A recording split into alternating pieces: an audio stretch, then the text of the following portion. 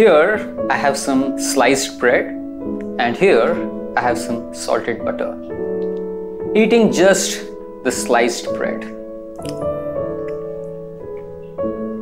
It's nice, it's healthy, but it's boring. When everything in your life is going according to your plan, everything is happening just as expected, everything is certain, it is like eating sliced bread. It's nice, you feel good, but it soon gets boring. Now, eating just the salted butter.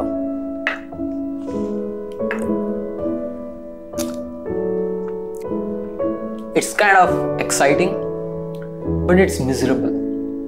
When nothing is happening as per plan, when there is a high level of uncertainty in your life, it's like eating salted butter.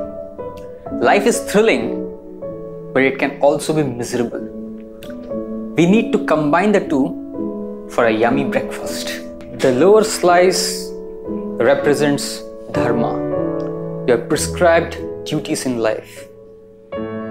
It's your duty to plan out your life well. Try to add the element of certainty in your life. Try your best to ensure everything happens as it was planned. But no matter how well you plan, life will throw surprises at you. Unexpected success and failure. That's your karma striking in uncertain ways. It's like this layer of butter. The upper slice is yoga, the process of reconnecting with the divine. Yoga helps you maintain mental equilibrium in the face of extreme uncertainties. It makes your response to uncertainties certain.